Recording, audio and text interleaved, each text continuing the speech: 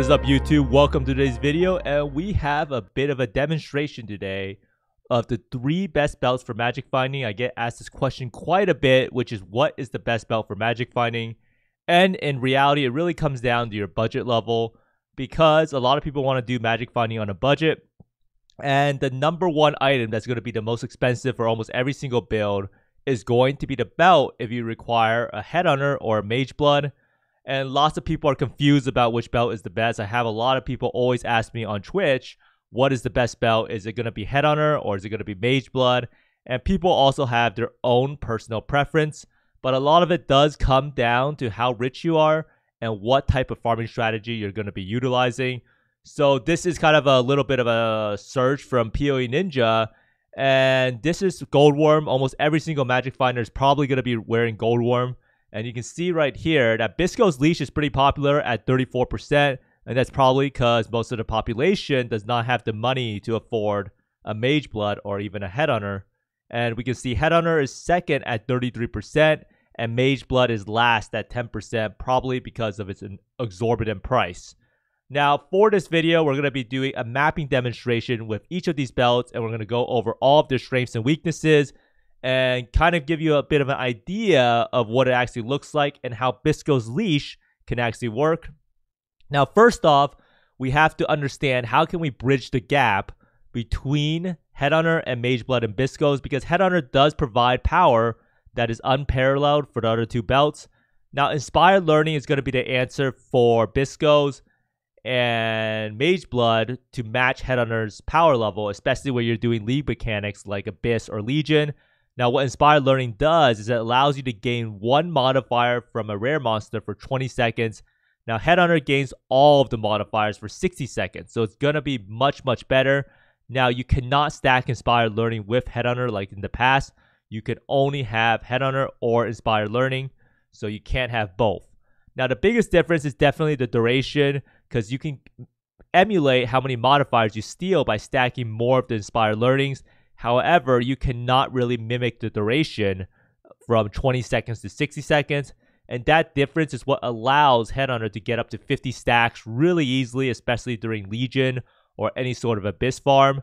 Now, if you use Mage Blood or Bisco's Legion, you kind of want to fit in one or two minimum into your build, and these are the places that you can fit it. So the way that it actually works in order to fit one of these into your build is you actually need to have four notables. So you have one, two, three, four, and actually have two of these uh, inspired learning is good to go for this test. So you can see right here, it's going to be activated. And when it's activated, you can see on the bottom line, it says when you kill a rare monster, you gain one of its modifier for 20 seconds. And when it's not activated, you'll see that it, the bottom line does not actually pop up.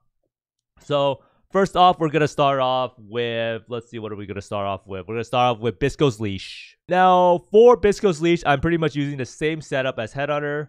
And we are going to be doing a pretty hard map. Well, let's do a little bit of an easier map. And we are going to be running all 8 modern maps. And this is going to be quite challenging for the build. And I'm not going to do the full map because it's going to take me quite a while. But I do actually have to loot the map where I'm going to be losing a lot of money. But basically, for the setup, we're running a Quicksilver Flask, Silver Flask with movement speed, uh, some resist that helps us out, and then Rarity Flask. And these are going to be the same flasks we're going to be using on Headhunter.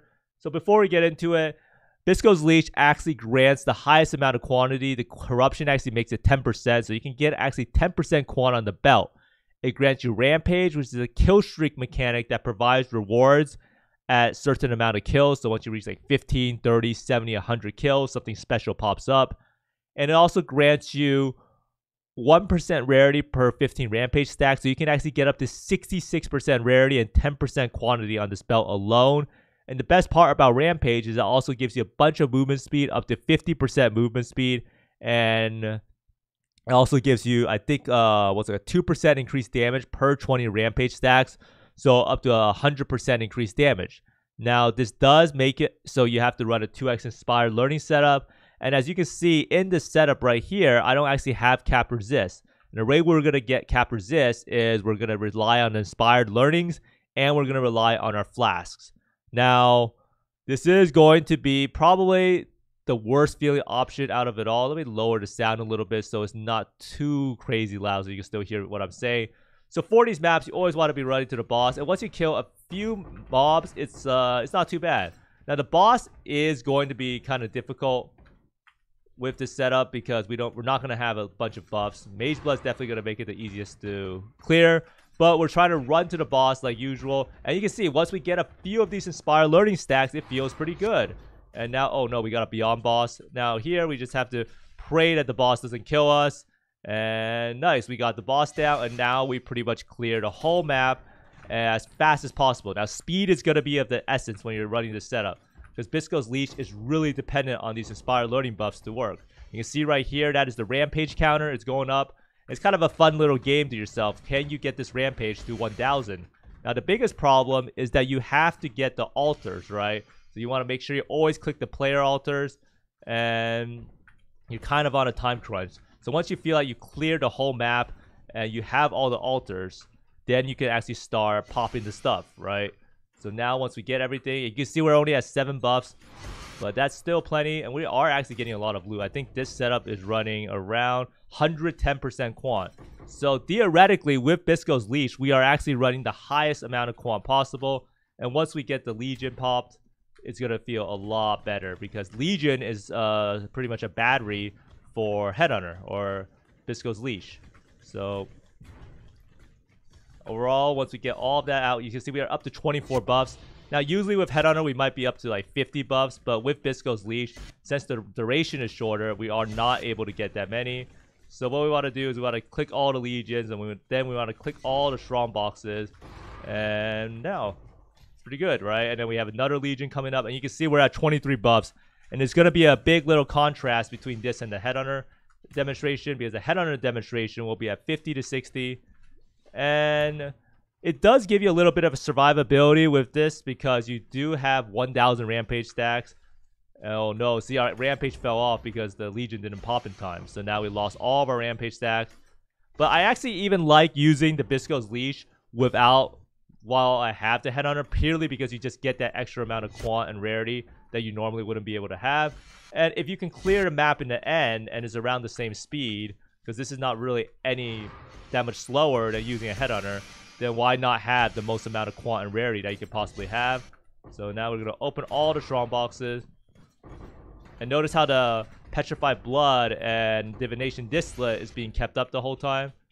And I think we're more or less done with the map. Usually there's around three legions. Oh wait, there's another legion over here. But I do think that if you look at the setup, Mage Blood is actually going to be the worst clearing option. But or it's not going to be the worst clear option.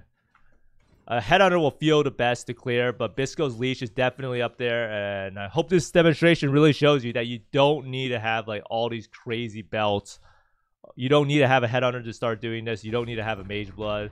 Two Inspired Learning is actually incredibly strong, especially when you're farming stuff that takes advantage of how many rares can be on the map. So that is a demonstration for Bisco's.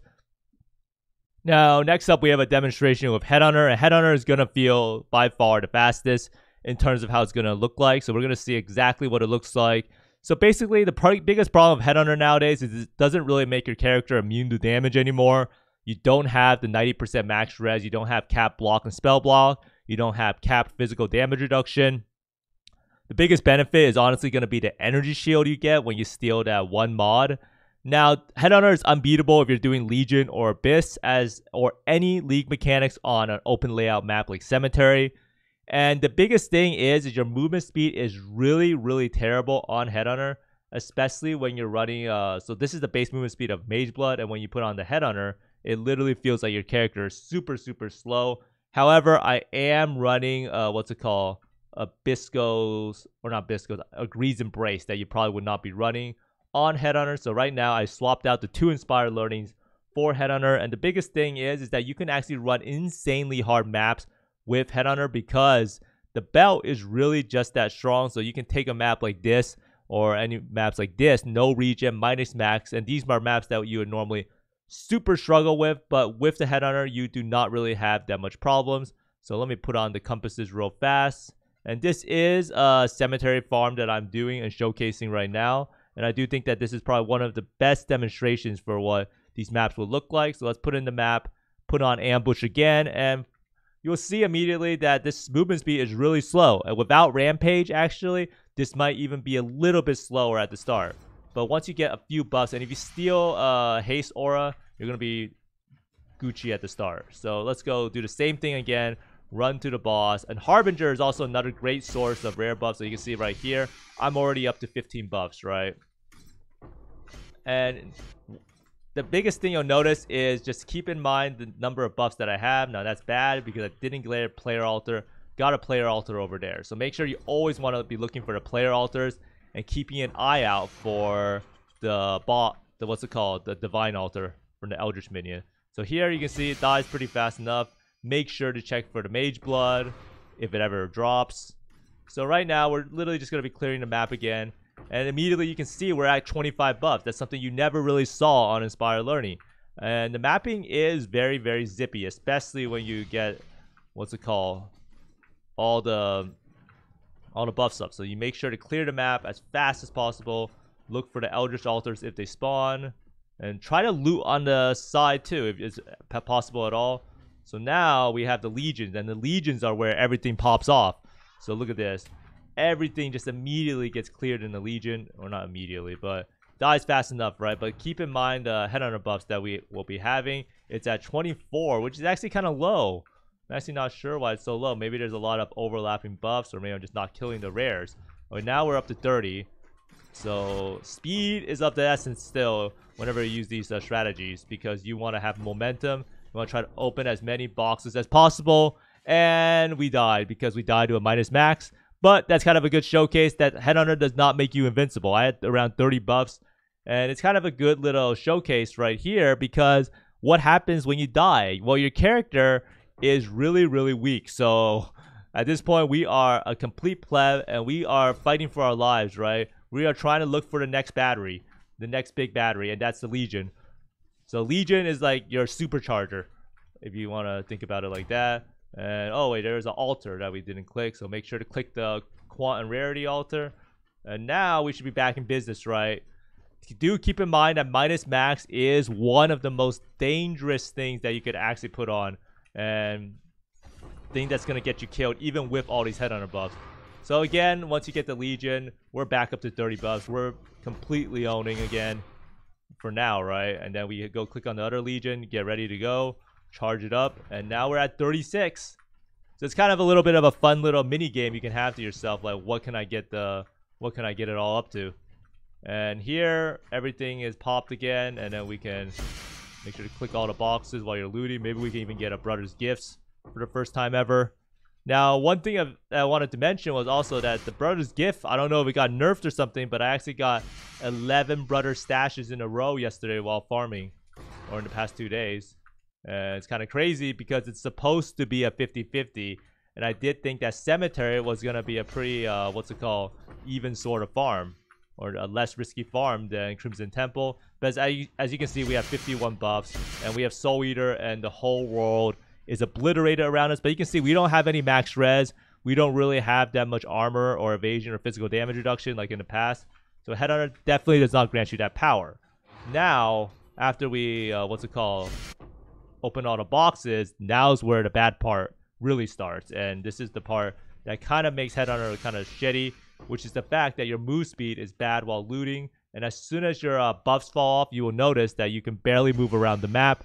And yeah, this pretty much concludes the demonstration of the Headhunter. Okay, next up we have the Mage Blood for the mapping demonstration. And the Mage Blood kind of is the best of both worlds. So what you can do is you can put in two inspired learnings again. So we're going to put in these two inspired learnings over here and then over here. So we have these two inspired learnings and can we actually take out this? No, we cannot. So with these two inspired learnings, we're going to have a lot of the same power as the Headhunter, but we're not going to have the same duration again. Now, the biggest thing about Mage Blood is it does solve a lot of your build's issues. You can fix all your flasks. Uh, you can fix all your resists, your survivability, your movement speed by taking advantage of the flask suffixes. So what this means is that you can see right here, this flask actually gives us a bunch of rarity. So this flask alone is around 120% rarity. And then this flask alone is giving us so much resist to the fact that we're way over cap. And then for these flasks, if you want to see the difference in move speed, this is without the mage blood. and this is with the flask actually on, and it's like a completely different character, right? So Mage Blood is the best of both worlds in the sense that it kind of mixes the flexibility and the movement speed of the character, but it also kind of provides the what's it called? It kind of provides the fun factor of Headhunter with the two inspired learnings at the same time. And this is the biggest difference, right? So when you're in the map and looting, when you have a Headhunter on and you have no more buffs, you are literally crawling through the map like this. And the best way you can do it is you can try to spam your movement skill. And that is going to be the best solution if you have a Headhunter, right? But if you're doing a no regen map and you have no more mana, then you're kind of screwed over. However, if you have a mage blood, you can just zoom around, loot everything, and it's a lot better experience. Now the question remains, how does this actually play in maps? So we're gonna take a, this is a pretty hard map. Yeah, it's not too bad. We're gonna take this and try out the mage blood, and you're gonna see in the end, it's a very, very similar playstyle again. You're, and it's not gonna really seem that much different, except your character is gonna feel a lot more zippy in the beginning.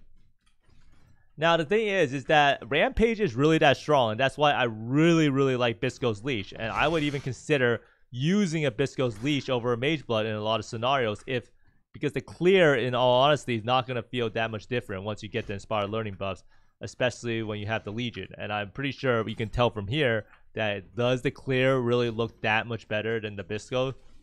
Or is it around the same? So let's hope that we don't die to this. Oh no, this, I think we showed a really uh, difficult map. Or something's going on. Right, so you can see we don't have that like character power yet because we haven't gotten the buffs. But the character's move speed definitely feels really good, so make sure to take the altars again. Now I'm not gonna full clear this map just so you, you can see exactly. I just want to do a little bit of a demonstration to show you what Mage Blood actually looks like with two Inspires. And I do believe that this is still the best setup.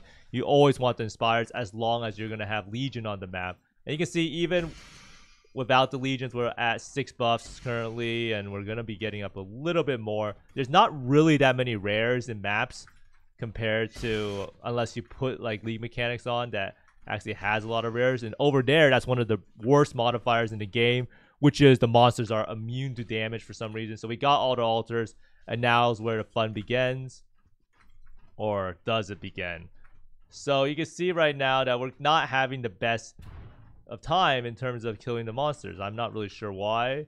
I mean, we just don't have enough Inspire Learning stacks, apparently. Or we're really missing that Rampage. So right now, we're kind of killing it all. We have 22. So our character is kind of uh, strong now. This is reduced effect of non-curse auras. So finally, we have some power. And we died. So you can see, again, that you're gonna have the same issue is that if once you lose the buffs and you do a really hard map, you're gonna be kind of screwed.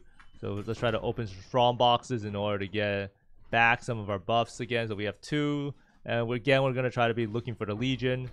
It's kind of funny that both the things died except the Bisco's leash. Maybe the Rampage is kind of nice, right? So here we have the Legion. But in all honesty, I would honestly play the Bisco's leash if you don't really notice that much of a difference just because the extra quant is going to be nice and so is the extra rarity but that really just depends on your playstyle but I do think that for looting Mage Blood is definitely the best belt for looting and you really need to be doing Legion or some sort of farm that has rares or otherwise Mageblood's just going to be the best belt in the end so right here you can see more or less the same thing everything's still going to die but I do think that this map is very difficult or I don't know what is wrong with this but something's wrong with my character. Uh, yeah, I mean, reduced effective auras is really bad for the build. But overall, hopefully that gives you a little bit of a demonstration about three different belts because I know a lot of people ask, oh, can you actually do it? And I just wanted to provide a very fair test in the sense that every one of the maps was pretty much the same and with the exact same farming style. Now, I do think that at the end of the day, all these belts come at a different price point, so it'll most likely come down to your budget. And the most elegant solution in my eyes is to either use Headhunter or Biscos and swap to a Mage Blood for looting and then focus on movement speed for your skill tree. And I do think that this is going to be the best solution overall. And we also can emulate Rampage on Bisco's Leash with a weapon swap to a Rampage Crucible Bow or with a Sinvicta's.